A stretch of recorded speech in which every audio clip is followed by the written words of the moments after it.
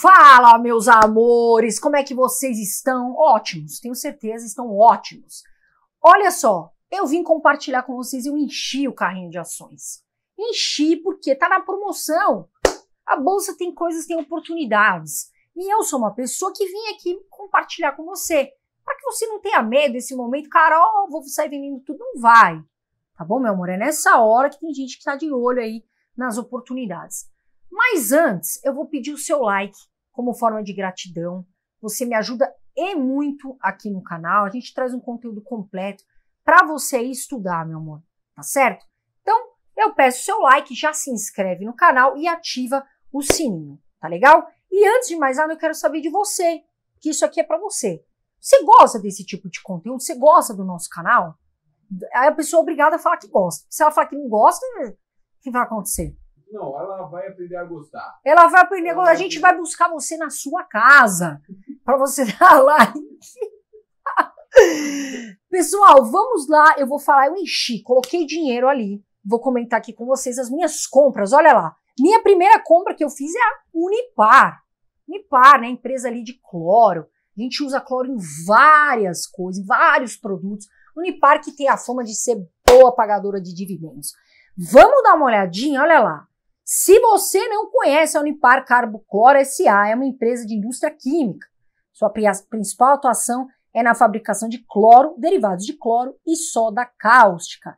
Ela também é dona de uma empresa argentina produtora de PVC, soda cáustica e cloro. E antes, quero saber o seguinte: o resultado veio bom na tela. Unipar, Unip 6, registra lucro de 197,8 milhões no terceiro TRI de 2022, queda aí 74,9%. Agora, o que é importante, eu quero avaliar a empresa Unipar. E eu vou avaliar junto com você. Olha aí, indicadores fundamentalistas, está na tela, junto com o Investidor 10, que é um site que eu adoro. Tá na descrição, deixa aqui na descrição para você estudar também. Olha lá, a cotação, né? A empresa cotada a 77,48, uma ação. Se você der uma olhada aí no gráfico, pessoal, olha lá, Teve uma valorização nos últimos 12 meses de 3,14%. O PL está em 4,32%, volta para mim.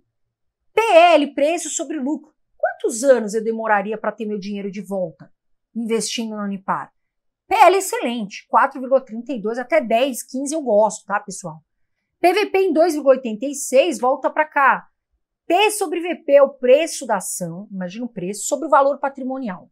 Então, se eu estou com esse copo se esse copo custa 50 reais, tô dando um exemplo aqui, tá, pessoal?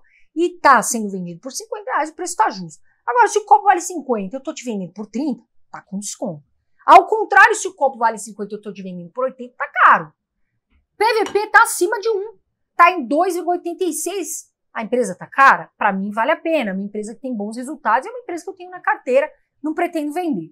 E pagou um dividend yield nos últimos 12 meses de 16,26%. Se a gente olhar o gráfico aqui, a gente vê nos últimos cinco anos a empresa teve aí valorização, olha lá, o pico amarelo subindo. E agora, vamos continuar, tem os indicadores, tem que estudar fundamentos da empresa. Olha lá, o PL, a gente falou, 4,32%, a gente vê aqui uh, dividend yield bom, 16,26%, a gente vê o ROI excelente, acima de 10%, 66,05. Dívida da empresa líquida negativa sobre EBIT. Carol, a dívida está negativa. O que, que isso quer dizer? Quer dizer que a empresa está ótima. Não tem dívida, está negativa. Tá certo, gente? Dívida líquida negativa é bom, não é ruim, tá? E tem ali também uh, crescimento de receita, olha lá, de, de nos, nos últimos cinco anos de receita, 17,75%, número positivo. Agora eu quero ver também o histórico de dividendo. Olha lá, vamos colocar aqui nos últimos 10 anos, pagou, teve pico em 2017, uma caída, mas já está voltando ao atual. Dividend de médio em 5 anos de 7,42%. Quero saber o seguinte: a avaliação pelo checklist do investidor 10, olha lá, nota 90 de 100. Veja, tem alguns tópicos que estão aí com um Vzinho significando o quê? Que a empresa cumpre esses tópicos. E por isso, tirando 9 né, de 10, 90 de 100. Vamos à segunda empresa, quem que é? É a Transmissão Paulista. A Transmissão Paulista é considerada uma das maiores empresas privadas de transmissão do setor elétrico brasileiro. Por meio das suas atividades e das subsidiárias, a companhia atua em 17 estados do país, sendo responsável por aproximadamente 33% de toda energia elétrica transmitida pelo Sistema Interligado Nacional. Volta para mim. Setor de transmissão, setor que ganha, é obrigatório, transmissão de energia elétrica. Setor perene, está aí nas elétricas. Empresa consolidada nesse meio, grupo privado. Fornece uma baita energia, 33%. Está em 17 estados, para mim, queridinha da minha carteira. Eu adoro a transmissão paulista, mas não é recomendação de compra, ok? Eu tenho, eu enchi o carrinho, faz sentido para mim, agora estuda, tá? Tá na área de, de transmissão, é, é, é a área que mais ganha e menos gasta. Vamos dar uma olhadinha, olha lá no resultado. Transmissão paulista, o lucro sobe mais que o dobro no terceiro TRI de 2022 e chega a 386,7 milhões. Continuando aí no investidor 10, olha lá os indicadores fundamentalistas. A empresa, no momento, uma ação custa 22,56, PL excelente em 5,76, TVP alô abaixo de 1, 0,95, mostrando que está descontada. E se você vê aqui nos últimos cinco anos, a empresa teve uma valorização da cotação. Tá certo, gente? Agora, vamos ver mais indicadores. Vamos dar uma olhadinha? O que, que eu vejo aqui? Nós falamos aí PL, PVP, dividend yield entregou 4,71%. Olha lá o que, que a gente vê aqui.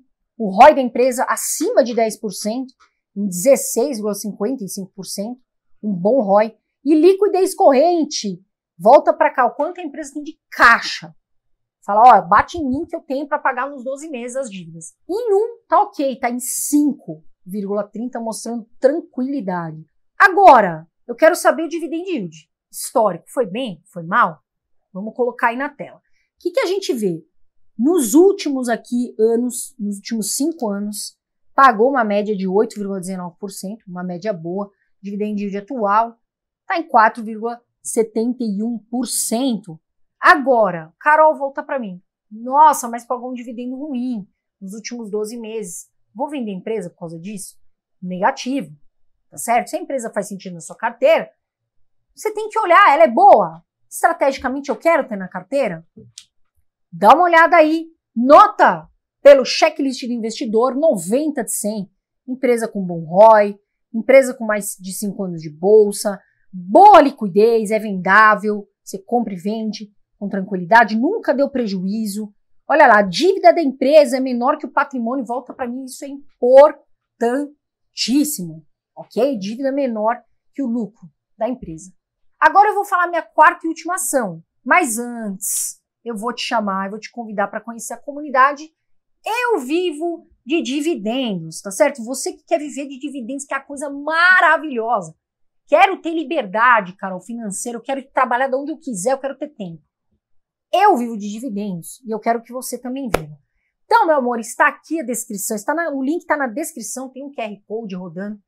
Vem fazer parte, não é curso, certo? Curso tem lá dentro da plataforma, gratuitamente. Você vai ganhar planilha de organização financeira, planilha de rebalanceamento de carteira. Você vai ter recomendação carteira recomendada, exclusiva para os alunos de ação, né? De quem pode, a Nord pode recomendar, de ação, fundos imobiliários.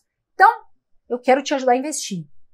Clica aqui, comunidade ao vivo de dividendos. Agora sim, vamos à nossa última empresa, que é ela, é a Fleury. O Grupo Fleury é uma das empresas mais tradicionais do país no setor de medicina diagnóstica, adquirindo o título de líder de mercado em seu ramo.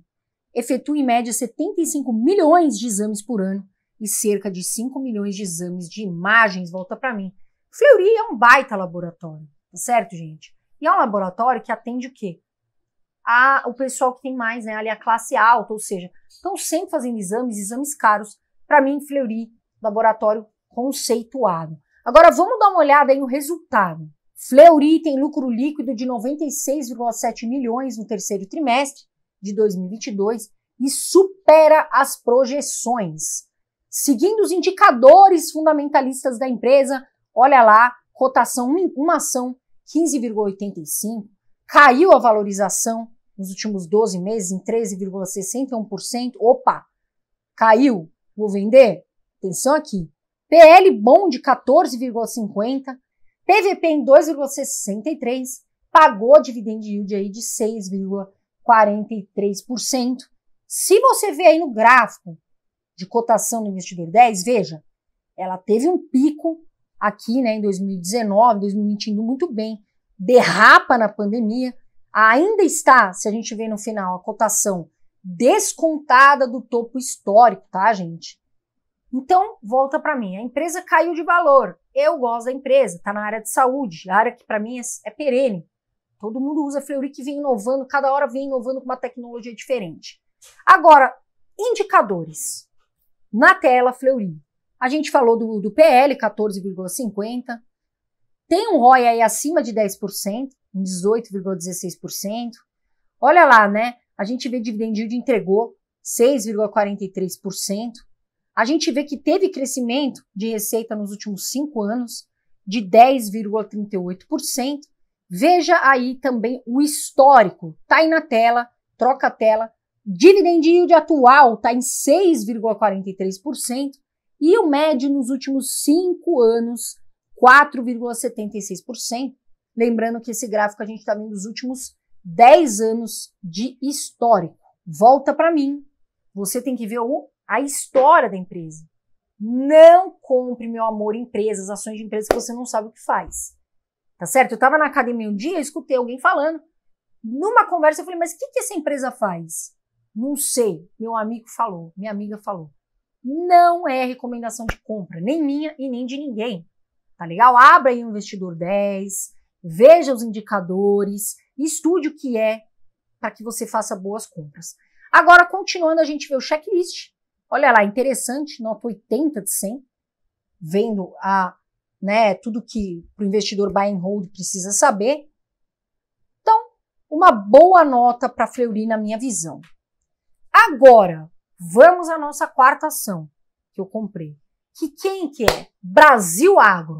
A Brasil Agro é uma empresa do setor de agronegócio que atua na aquisição, desenvolvimento, exploração e comercialização de propriedades rurais com aptidão na agropecuária, né? Faz um bom investimento aí por meio de investimentos em infraestrutura e tecnologia. Volta para mim.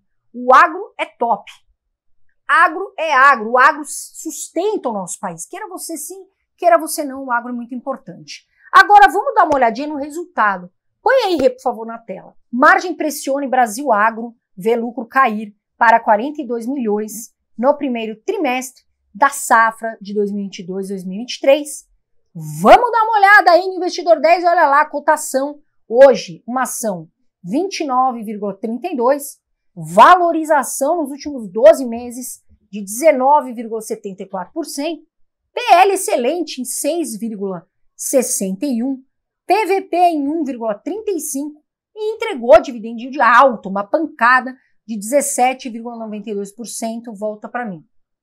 Pessoal, você aí, meu amor, que tem dificuldade, Carol, esses indicadores, poxa, eu peguei o vídeo no meio. Não. Volte para a primeira ação que eu expliquei com tranquilidade. Tá certo? Precisa saber. Então volta lá sem preguiça. Tá legal? E a gente vem aí o gráfico de cotação vê que a empresa né, veio baixa, mas agora já vem valorizando. A gente vê uma queda aqui em 2022 e a empresa já volta a subir o valor. Vamos aos indicadores, está na tela. PL, eu falei 6,61. Olha lá, dívida líquida sobre EBIT, a empresa super equilibrada, em 0,24. Teve crescimento de receita nos últimos cinco anos, de 25,78 o ROI da empresa em 20,50%, para mim acima de 10%, muito bom, volta para mim. Dividend yield. Todo mundo quer a empresa que paga bom dividendo, que é lucrativa, que tem dívida equilibrada. Vamos dar uma olhada aí. Dividend yield de 17,92 e olhando o histórico de 10 anos, olha lá, deu uma boa subida aí no dividendo atual, pagou 17,92% e o médio de 5 anos 7,5 79%. Carol, eu quero saber a nota. Tem como, pelo checklist do buy and hold, ou seja, investidor de longo prazo? Dá uma olhadinha aí, nota 90 de 100. Muito boa nota, empresa consolidada, uma empresa que está num setor que para mim é um bom setor, mas, veja, ela falhou em uma aqui, vamos ver. Empresa nunca deu prejuízo. Deu prejuízo? Deu, mas ela, ela é boa em outros setores, a empresa está indo bem. Tá legal? Para mim, na minha visão. A minha última empresa é uma queridinha. Foi a minha primeira ação da carteira, que é ela, a Itaúsa. Itaúsa é uma holding brasileira que administra Duratex, Alpagartas, Itaú, que é um banco gigante, e possui participação na NTS, que é uma empresa de gasoduto, além de dispor de outros empreendimentos, fazendo da Itaúsa um dos mais grandiosos grupos privados brasileiros, volta para mim.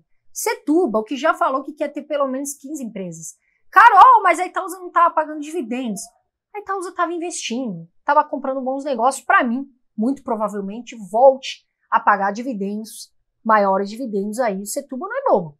Se quiser sentar aqui tomar um café, um lanche, pode sentar aqui, tem muito a acrescentar. Bobo não é, né, Renan?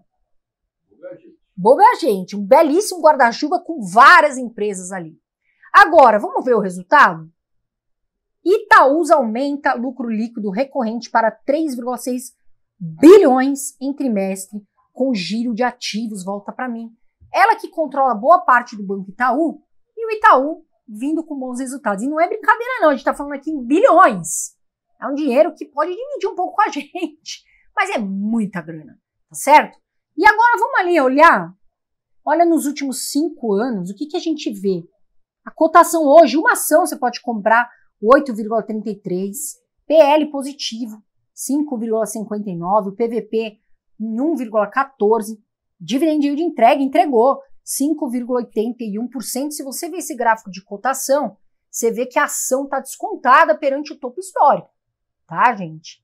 E aí vamos descer indicadores da empresa, PL muito positivo, tá aqui com o ROI de 20,43% acima de 10, muito positivo. Olha a liquidez corrente ali acima de 1, em 1,40. Dívida líquida sobre EBIT super equilibrada, tem menos dívida do que lucro, que é muito bom. Ou seja, a empresa, para mim, redonda. Saúde financeira. Carol, vou vender porque não está pagando dividendos. Eu estou comprando. Eu estou comprando. Quem vende, eu compro. Tá legal, pessoal? Mas não é recomendação. Coloca aí, bem grande, não é recomendação de compra. Tá bom, gente? E olha só o histórico, põe aí, de dividendos pagos pela Itaúsa. Olha o gráfico. A gente vê aqui que, na média, a gente está avaliando em 10 anos a empresa e o dividend de médio nos 5 anos, 8,86%. Volta para mim, eu quero saber você. O que você está comprando? Coloca aqui embaixo, eu quero saber as empresas. Carol, estou comprando a empresa X. Carol, eu estou comprando a empresa Y. Por quê? Eu quero que você compartilhe aqui Vai que eu dou uma olhada também nessa empresa. Tá certo, meu amor? Tem card, card especial aqui. Quer saber três fundos imobiliários pagando mais que a taxa Selic, que tá alta? Tem fundo imobiliário aí, oportunidade. Vem aqui no card, já, sai desse vídeo, corre aqui. Tá legal, meu amor? Um beijo de luz. Eu sempre falo e sempre vou falar. Vou Brasil, fiquem com Deus e até o próximo vídeo.